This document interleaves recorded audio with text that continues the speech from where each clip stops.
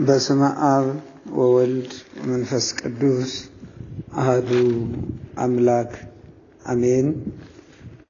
ክቡራን የተከበራችሁና የተወደዳችሁ የልዑለ ባሕርይ እግዚአብሔር ቤተሰቦች፣ የማኅበረ ተዋሕዶ ዘኦርቶዶክስ አባላት፣ መምህራን አባቶቻችን፣ እንዲሁም የመንፈስ ቅዱስ ልጆቻችን ሁላችሁም በልዑል እግዚአብሔር ፍጹም ሰላም እንደምንሰነበታችሁ አሜን። ልዑለ ባሕርይ እግዚአብሔር አምላክ በቸርነቱ ሰብስቦና አቅርቦ ለዚች ዕለትና ለዚች ሰዓት ያደረሰን የአባቶቻችን አምላክ ቅዱስ እግዚአብሔር ዛሬም ዘወትርም የተመሰገነ ይሁን።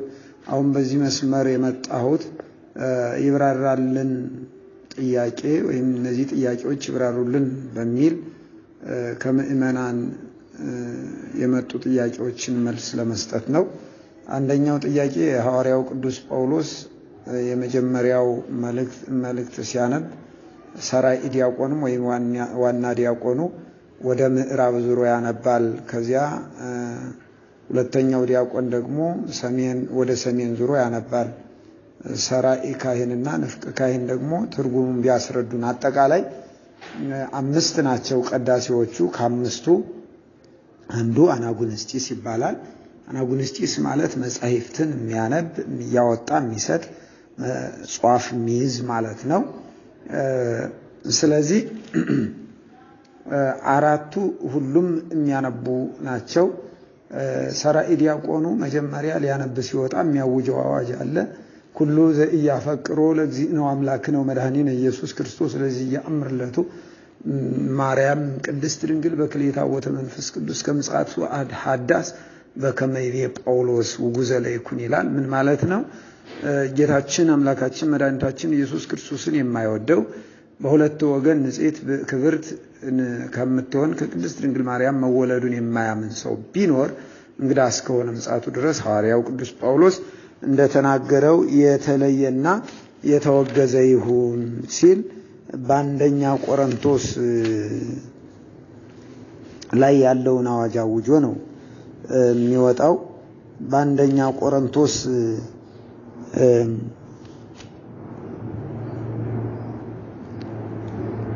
ያለውን ይሄን አዋጅ አውጆ ካወጣ በኋላ ለዕለቱ የሚመጥነው ከቅዱስ ጳውሎስ መልእክታት ለዕለቱ አባቶቻችን ቀምረው ባስቀመጡት የቅድስት ቤተ ክርስቲያን ጥበበኞች አባቶች ባስቀመጡትና በቤተ ክርስቲያኒቱ ሕግ መሰረት ያን አንቦ ወደ ምዕራብ ፊቱን ዞሮ አንቦ ይመለሳል። ሲመለስም ይናገረዋል። የሚያውጀው አዋጅ አለ። በረከታ ወፍተወልድ ወሀብተ መንፈስ ቅዱስ ዘወረደ ላዕለ ሐዋርያት በጽርሐ ጽዮን ቅድስት ከማሁ ይረድ በላዕሌነ ወበላዕለ ኩልክሙ እስከ ለዓለመ ዓለም ይላል። ምን ማለት ነው? የአብ በረከት የአብ በረከት የወልድ ፍቅር የመንፈስ ቅዱስ አንድነት በሁላችሁ ላይ ይደር። በዚያች በጽርሐ ጽዮን መንፈስ ቅዱስ በተገለጸባት በባለ ሀምሳ በጽርሐ ጽዮን ላይ የወረደው የመንፈስ ቅዱስ በረከት በሁላችሁ ላይ ይደር ብሎ አውጆ ይመለሳል። ከዚያ ቀጥሎ ሁለተኛው ዲያቆን ወይም ንፍቅ ዲያቆን ብለን የምንለው እሱ ይወጣና ያነባል። እሱም አዋጅ አውጆ ነው የሚወጣው። ምን ይላል?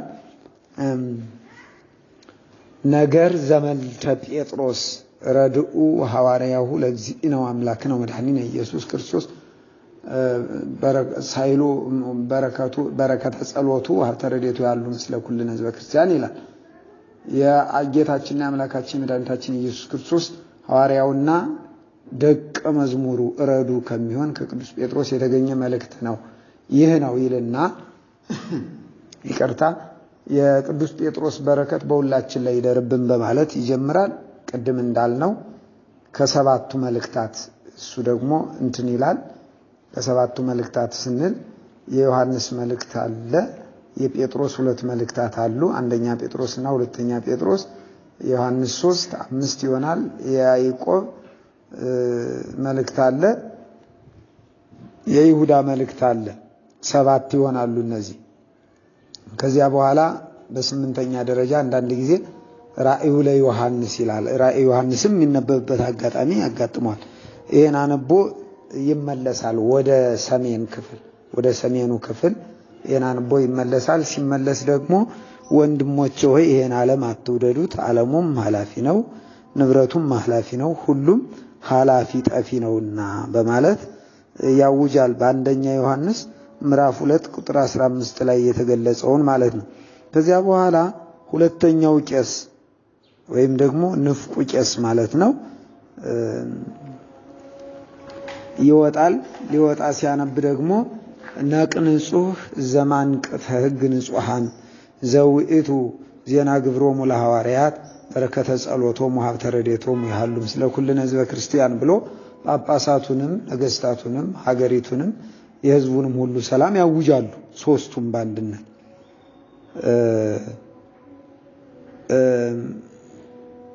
ይህ ወደ ደቡብ ዙሮ ነው የሚያነበው። ወደ ደቡብ ዙሮ ነው የሚያነበው። ወደ ደቡብ ዙሮ ሲያነብ ያው እንደታዘዘው የሐዋርያት ስራ አለ። ከሐዋርያት ስራ የሚገባውን ለዕለቱ የተፈቀደውን ያነባል። በመጨረሻ ካህኑ ወንጌል ነው የሚያነባው። ከአራቱ ወንጌላት የታዘዘውን አንዱን ያነባል። እሱን አንቦ ይመለሳል ማለት ነው። ባጭሩ ይህ የሚሆንበት ትልቁ ምክንያት ለምንድን ነው ይብራራልን ይህ ማለት የጥንት ቤተ ክርስቲያን በክብ የተሰራች ስለነበረች በክብ የተሰራችው ቤተ ክርስቲያን አሁንም በገጠሪቷ ኢትዮጵያም በአዲስ አበባም አሉ የክብ በአራቱም ማዕዝን ምእመናን ይቆማሉ። በአራቱም ማዕዝን ዓለም በአራቱም ማዕዝን ዓለም ለሚቆሙት ምእመናን ሁሉም እንዲሰማቸው ሁሉንም ለማዳረስ ነው። ሌላ ምስጢራዊ ትርጉሙ ጌታችን አምላካችን መድኃኒታችን ኢየሱስ ክርስቶስ በአራቱም ማዕዝነ ዓለም በሰሜኑም፣ በደቡብም፣ በምስራቁም በምዕራቡም ክፍል ዙሮ ወንጌልን በአራቱም ማዕዝነ ዓለም በአራቱም የዓለም ክፍላት ማስተማሩን ለመግለጽ በአራቱም ሁነው ያነባሉ ነው። አጠር ለማድረግ ጥያቄውን በዚህ መልኩ ነው እንትን የሚለው ያው የወንጌሉ የራሱን የቻለ መርገፍ አለው። ሲወጣ የሚያውጀው አለ ካህኑ፣ ሲጨርስም የሚያውጀው አለ። ልክ እንደ ዲያቆኑና እንደ ካህኑ። በማቴዎስ ጊዜ ከሆነ በሶስቱ በሶስቱ ወንጌላት በማቴዎስ፣ በማርቆስ፣ በሉቃስ ከሆነ ሲወጣ የሚያውጀው ተመሳሳይ ነው። ምን ይላል?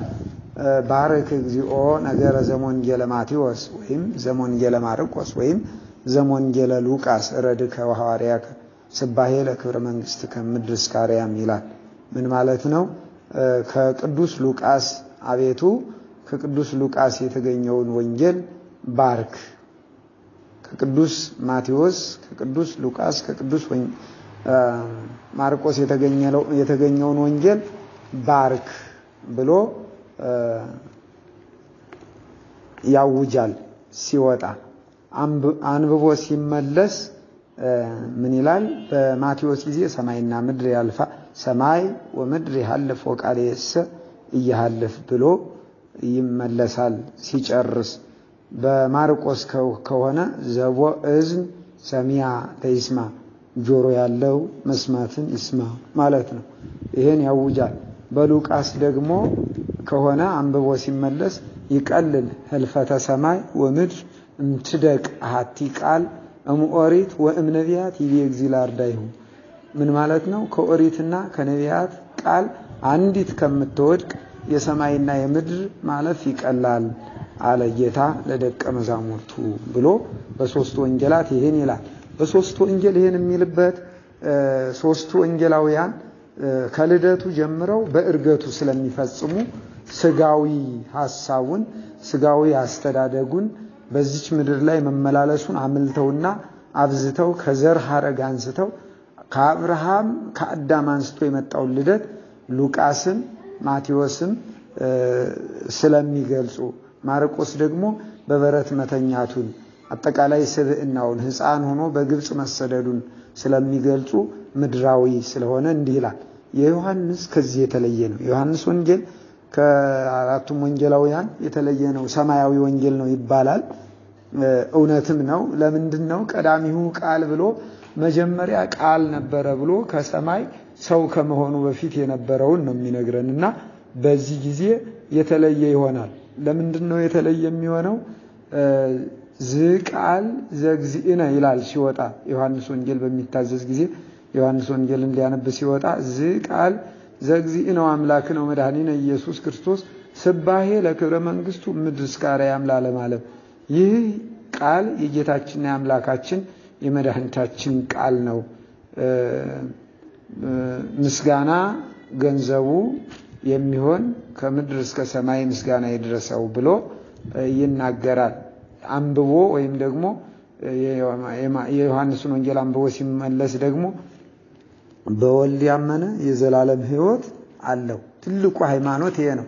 መጻሕፍት ሁሉ መጻሕፍተ ሊቃውንትን፣ መጻሕፍተ ነቢያትን፣ መጻሕፍተ መነኮሳትን፣ መጻሕፍተ ብሉያትን፣ መጻሕፍተ ሐዲሳትን አጠቃላይ መጻሕፍት የኢየሱስ ክርስቶስን ሰው መሆን ነው የሚያረጋግጡልንና ሰው ሆኖ ስጋውን ቆርሶ ደሙን አፍሶ የሰጠንን ቅዱስ ስጋውን ክቡር ደሙን የበላ የዘላለም ሕይወት አለው በማለት አውጆ ይመለሳል ማለት ነው። ባጭሩ እንዲያው አንዱን አንዱ ይስበዋል ነው እንጂ በአራቱ ማዕዝነ ዓለም ወንጌል መሰበኩን በኋላ በምጽአተ ክርስቶስ ጊዜ አልሰማሁም ማለት የማያዋጣ መሆኑን የሚያመለክት ነው። እንደምታዩት ዛሬ በአራቱም ማዕዝነ ዓለም በተለያየ መልኩ ወንጌላት እየተሰበኩ ነው ማለት ነው። የወንጌል ድምፅ የማይሰማበት ጊዜ የለምና ለዚህ ነው። ሁለተኛው ጥያቄ ምን ይላል? መጽሐፍ ቅዱስ በዕብራይስጥ፣ በሮማይስጥ፣ በጽር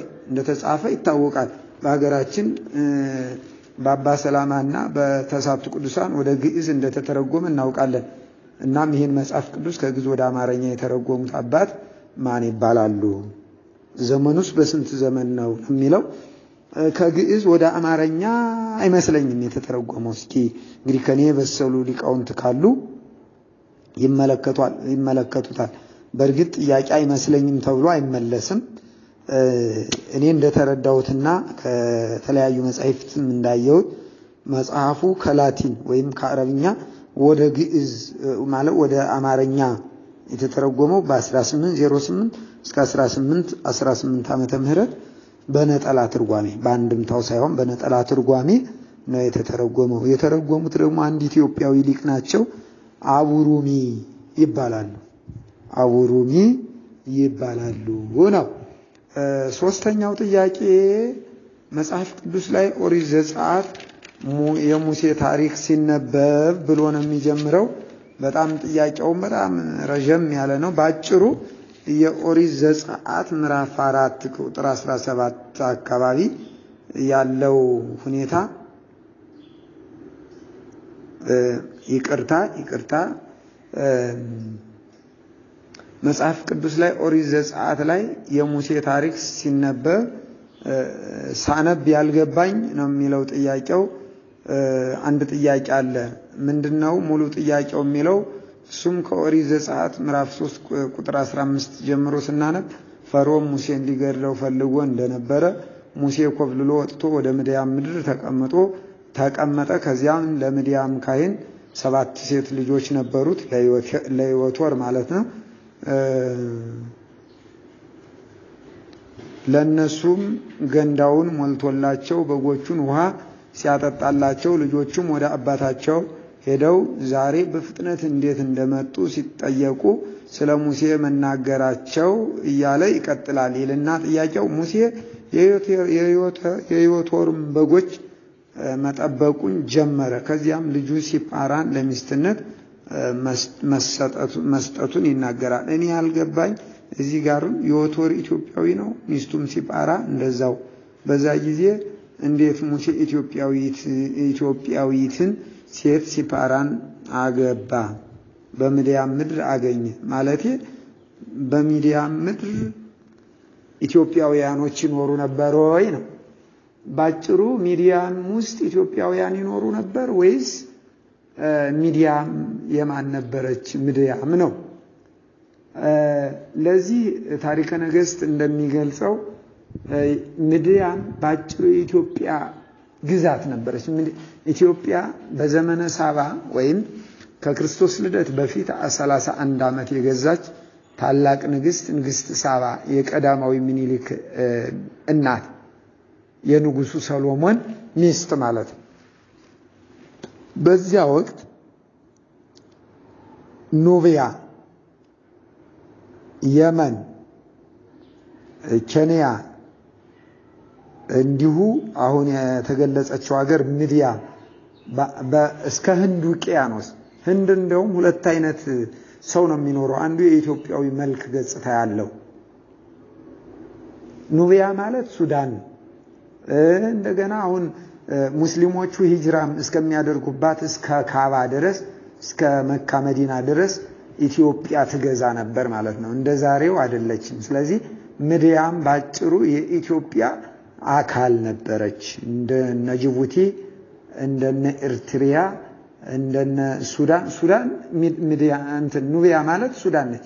ሱዳንን ጨምሮ ኢትዮጵያ ይባል እንደነበረ እንደውም በቅርቡ መጽሐፍ ቅዱስ ሱዳን እጆቿን ወደ እግዚአብሔር ትዘረጋለች፣ ኢትዮጵያ እጆቿን ወደ እግዚአብሔር ትዘረጋለች የሚለውን እኮ እያሳሳቱ የሚተረጉሙት በዚያ ተነስተው ነው። ስለዚህ ባጭሩ የሚዲያም አካባቢ የኢትዮጵያ ምድር ነበረ ነው በወቅቱ እነ ሙሴ በነበሩበት ወቅት ማለት ነው።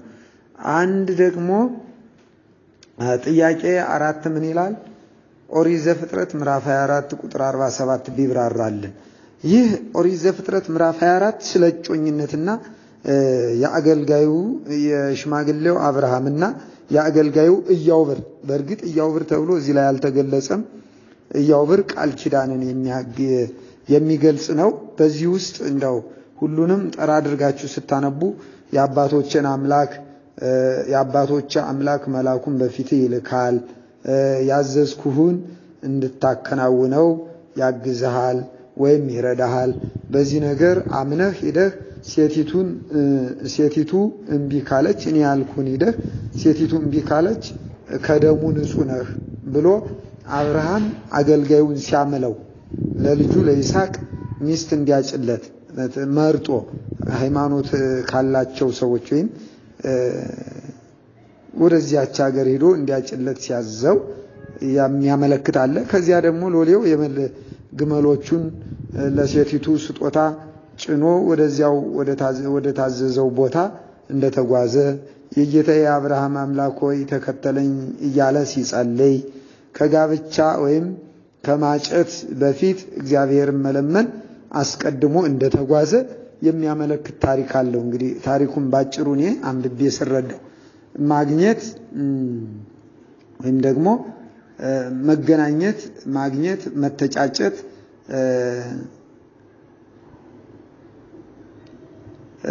ከእግዚአብሔር ያው ከትዳር በፊት እግዚአብሔር እኛ ከመምረጣችን በፊት እግዚአብሔር እንዲሰጠን የሚያመላክት ነው። በዚያው አጋጣሚ እና እማገኛት ልጅ የታዘዘችኝ እንደሆነ እግዚአብሔር ከኔ ጋር መሆኑን አውቃለሁ ሲልም ትእዛዙን ጠብቆ ጸሎትን አስቀድሞ የሄደ መሆኑን እንረዳለን። እንግዲህ ሁላችንም በዚህ አሁን ይህን ታሪክ እንደው ካነሳ ነው አይቀር ሁላችንም ትዳር የሚሰጥ እግዚአብሔር መሆኑን አውቀን ቅድሚያ በጸሎት ቅድሚያ በጾም ቅድሚያ በስግደት በሃይማኖታዊ ስርዓት መጀመር እንዳለብን የሚያሳይ ነው።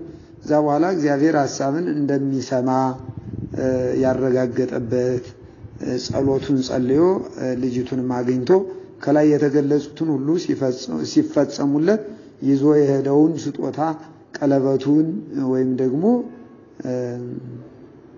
ግማሽ ሰቅል ወርቅ ሊሰጣት እንዳወጣ እግዚአብሔርን አመስግኖ ሰግዶ ተደስቶ የአባቶቼ ወይም የጌታዬ አምላክ እግዚአብሔር ይመስገን እያለ ወደ ቤት ገብቶ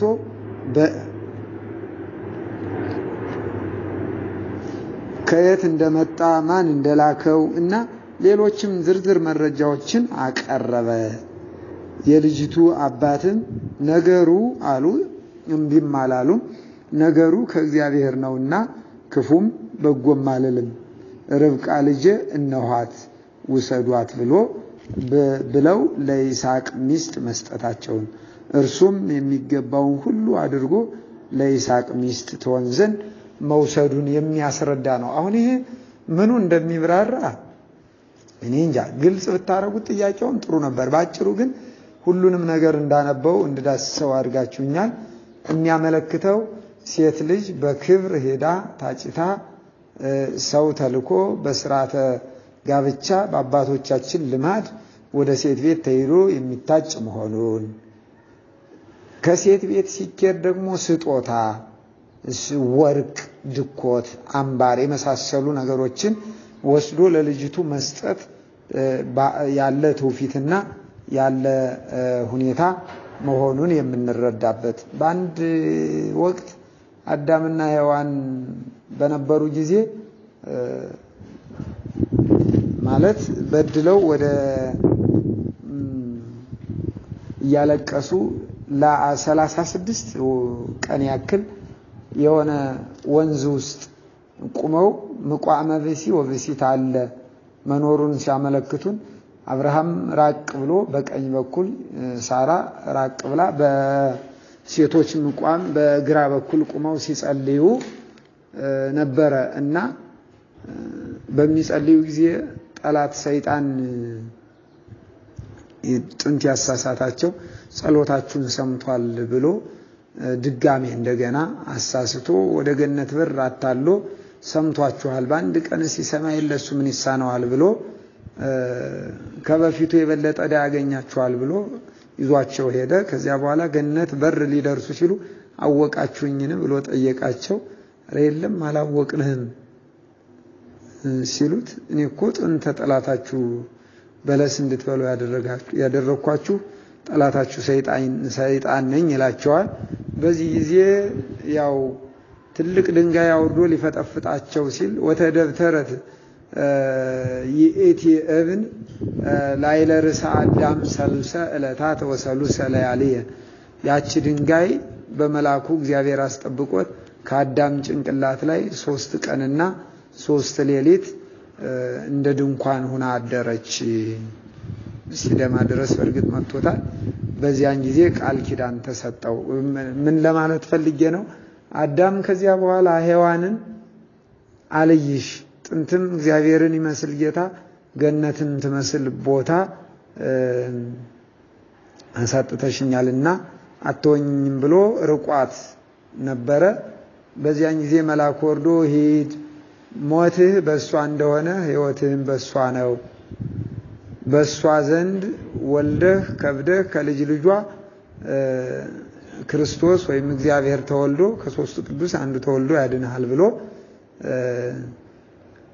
እንደነገረውና ህዶ ይቅርታ እንደጠየቃት ህዶም እርሱ እንዳመጣት ከዚያም ሲወርድ ሲዋረድ ሴቶች ሂደው እንደማያጩ ይልቁንም አባቶቻችን ያስቀመጡልን ስርዓት ወንዶች ወደ ሴቶች ቤተሰብ ሄደው ደጅ ጸንተው ቅድም ያለውን ስጦታ ይዘው ሄደው እንደሚያጩ የሚያስረዳ ታሪክ ነው። ጥር አድርጋችሁ ቢብራራ የሚለውን ትታችሁ ጥር ያለ ጥያቄ ብታመጡ ለመልሱም መልካም ነበር። በአጭሩ ይህን ያዙ። አምስተኛ ጥያቄ ትንሣኤ ክርስቶስ ሲነገር ጌታችን መድኃኒታችን ኢየሱስ ክርስቶስ መቃብሩ እንደታተመ ነው። ይህ ማለት መቃብሩ አልተከፈተም ማለት ነው። ጥያቄ የፈጠረብኝ ነገር ይልና ጥያቄ የፈጠረብኝ ነገር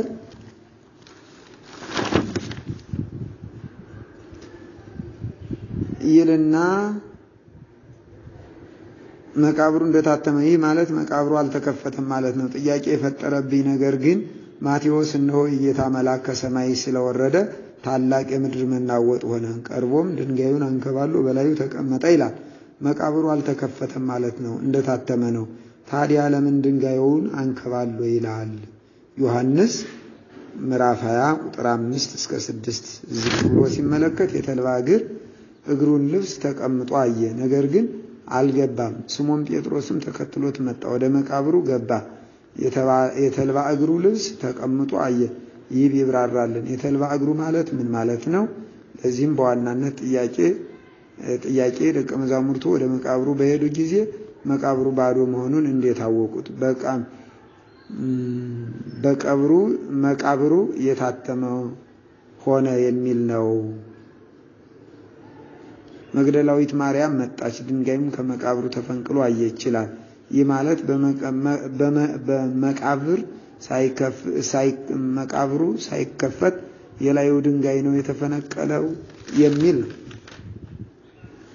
ባጭሩ አሁን እዚህ ላይ አጠር ሲል ጥያቄው የተልባ እግር የተባለውስ ምንድን ነው? መቃብሩ ወይም የድንጋዩ መፈንቀልስ ምንድን ነው? ተፈንቅሎ ነበር ወይስ ጌታችን መቃብር ክፈቱልኝ መግነዝ ፍቱልኝ ሳይል ነው የተነሳው? መቃብሩ ግን ለምን ተገለበጠ የሚል ነው። እንግዲህ የድንጋዩ መፈንቀል ከመቃብሩ ላይ የነበረው የድንጋዩ መፈንቀል አራቱም ወንጌላውያን ተስማምተው መዝግበውታል። ቅዱስ ማቴዎስ በምዕራፍ 28 ቁጥር 3 ላይ ጽፎታል። ቅዱስ ማርቆስ በምዕራፍ 16 ቁጥር 4 ላይ መዝግቦታል። ቅዱስ ሉቃስ ምዕራፍ 24 ቁጥር 2 ላይ ጽፎታል። ቅዱስ ዮሐንስ ምዕራፍ 20 ቁጥር 1 ላይ ጽፎታል። እነዚህን አጣጥሞ ማንበብ ተገቢ ነው። ጌታችን ሲነሳ መቃብሩ እንደተገጠመ ነበረ። በተደጋጋሚ እንደሚነገረው መቃብር ክፈቱልኝ መግነዝ ፍቱልኝ አላለም። መቃብሩ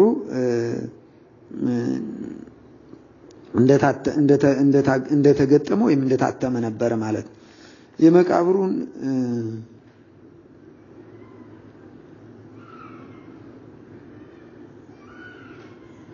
የመቃብሩን ድንጋይ ወይም ደግሞ መቃብሩ ላይ የነበረውን ድንጋይ መላኩ ድንጋዩን ፈንቅሎታል። መላኩ ነው እንግዲህ ድንጋዩን የፈነቀለው መላኩ ነው። ለምን መላኩ ድንጋዩን ፈነቀለው የሚል ጥያቄ ይነሳ ይሆናል። እነሆ ይላል ቅዱስ ማቴዎስ ቅድም በገለጽ ነው ምዕራፍ 28 ቁጥር ሁለት ላይ እነሆ የጌታ መልአክ ከሰማይ ስለወረደ ታላቅ የምድር መናወጥ ሆነ። ቀርቦም ድንጋዩን አንከባሎ በላዩ ላይ ተቀመጠ ይላል። ይህ ማለት ይህ ማለት ድንጋዩን ሲፈነቅል ሴቶቹ እያዩ ነበር የፈነቀለው ማለት ነው። መልአኩም ኢየሱስ ክርስቶስ በመቃብር ውስጥ አለመኖሩን እንደተናገረ ተነስቷል እንደተናገረ ተነስቷል ሲል ለሴቶቹ አስረድቶ መቃብሩን ኑና እዩ ብሎ አላቸው ይላል የማቴዎስ ወንጌል ምዕራፍ 28 ቁጥር 6 ላይ ማለት ቁጥር 6 ላይ ስለዚህ የመቃብሩን ድንጋይ እየገለበጠላቸው ያነሳላቸው በሌሊት ሂደው የተገጠመው መቃብር ውስጥ እንደተገጠመ ነበረ። እነሱ ሂደው ከመቃብሩ ሽቶ ሊያርከፈክፉ ሊያለቅሱ ሂደው ነበረ። ነገር ግን ድንገት መልአኩ ወርዶ ስለነበረ የምድር እናው የሰማይና የምድር ውስጥ ሆነ ወአልባ ሲሆኒ ጻዳ ከመበረድ ብሎታል። እንደውም ልብሱ ከበረዶ የነጻ ነበር አይደል የሚለው። ስለዚህ በዛ ተቀምጦ እነሱ ሲጨንቃቸው እያዩት ኑና እዩ ኑና እዩ ጌታችን ተነስቷል። ከተገጠመው መቃብር ውስጥ አለ መስሏቸው ነበር እነሱ ሰው በሰው ሰውኛው ሲታሰብ በዚያ ውስጥ ተነስቶ ሄዷል ብለው አላሰቡም ነበር። እሱ ግን መቃብሩን ድንጋዩን አንስቶ ከድንጋዩ ላይ ተቀመጠ እና መቃብሩን እዩ እንደተናገረ እንዳስተማራችሁ ተነስቷል ብሎ አላቸው ነው የሚለው። ስለዚህ መቃብሩን የከፈተላቸው መልአኩ መሆኑን መረዳት በይበልጥ ደግሞ ቅድም ከላይ የገለጽናቸውን መጽሐፎች አጣጥሞ አንብቦ መረዳት ተገቢ ነው ማለት ነው። ሌላው የተልባ እግር የተልባ እግር የሚባለው እንዴት ነው? ወይም ደግሞ የተልባ እግር የተባለው ልብስ ቢብራራ ነው የሚለው እንግዲህ የተልባ እግር በጥበብ ተሰርቶ ጥሩ ጨርቅ ወይም በፍታ የሚሆን ማለት እንደሆነ ብዙ ጊዜ በቅዱሳት መጻሕፍት ተገልጾ እናገኘዋለን። ለምሳሌ ያክል ኢሳይያስ ምዕራፍ 19 ቁጥር 9 ላይ